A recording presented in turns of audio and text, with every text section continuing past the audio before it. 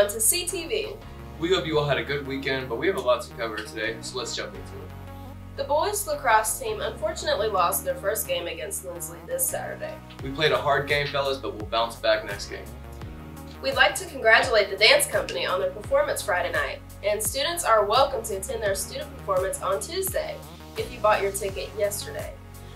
March 25th is the Student Teacher Basketball Shootout, Honor Roll, and Scholars List members are the only students permitted to attend, so make sure you have your cards. And prom fashion show tryouts will be held this Thursday, the 24th, during CFC. Only juniors and seniors are permitted to try out, so we encourage as many people as possible to show out. Now on to Racing with Mason.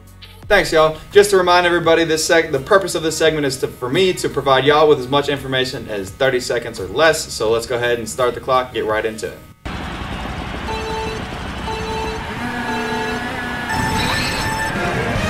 Kanye West was suspended from Instagram last week, and fellow rapper Fivio Foreign took to Twitter saying that Ye would create his be, he would be creating his own social media account. The Miss Marvel trailer released last week, and many are giving the series high praise for exploring the first Muslim Muslim teen superhero on the big screen. There have been a lot of offseason deals around all the major sports leagues. Notable names include Von Miller to the Buffalo Bills, Freddie Freeman to the LA Dodgers, Kris Bryant to the Colorado Rockies, and Davante Adams to the Los Angeles Raiders. March Madness continues this week as teams fight for their way to be the national to be in the national championship. As of today, the Gonzaga Bulldogs have the highest odds of victory, but only time will tell if they can live up to the hype. That's all for today. Now let's take a look at the uh, TikTok of the day.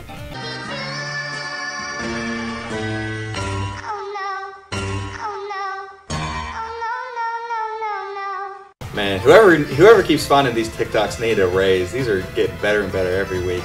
Uh, now let's take a look at today's weather with Savannah. Thank you, Mason. For today's weather, we're going to have a high of 65 degrees with possible rain in the afternoon. Now on to a word from our sponsor, followed by the word of the day. Capital High School hosted their National Honor Society induction on Thursday, March 4th. The National Honor Society recruits juniors and seniors who excel the four main criteria scholarship, leadership, service, and character. 24 students proudly walked the stage, earning a certificate and a gold pin. Chapter leader Shane Healy describes the status of his chapter and what the future holds for the new inductees. I think we set a really good foundation this year with um, service out in the community in the Charleston area and doing different things, and having a group of juniors that um, can come up and start this process for next year and kind of get their their uh, their wheels turning and get hit the ground running to start for the next school year. Um, since we have a great group of seniors now that can kind of lead the way and, and lead them into the future. Students showed proof of at least a 3.5 GPA, community service hours, teacher recommendations, and exemplary school behavior. Parliamentarian Haley Jones gives some advice for those considering National Honor Society next year.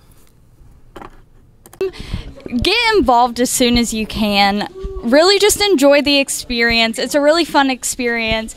Uh, if you have the grades and uh, want to join National Honor Society, I highly suggest that you apply because it's a great experience. We're all really close, and I wouldn't want to do anything else.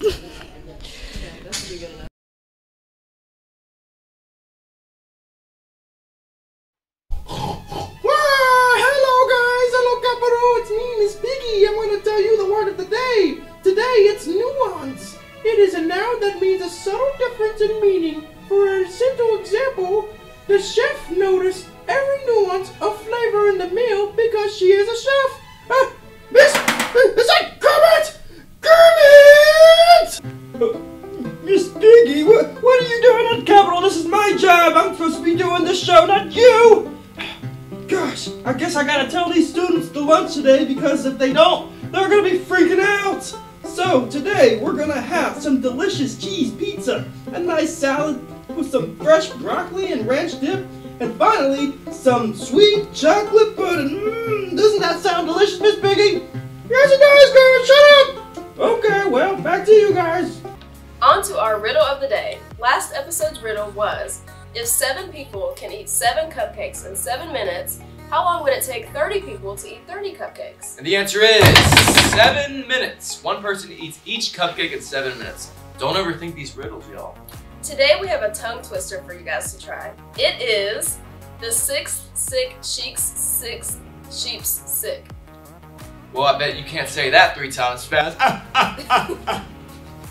well, that wraps up today's episode of CTV. Thank you guys for watching, and we'll see you all on Thursday. Bye-bye.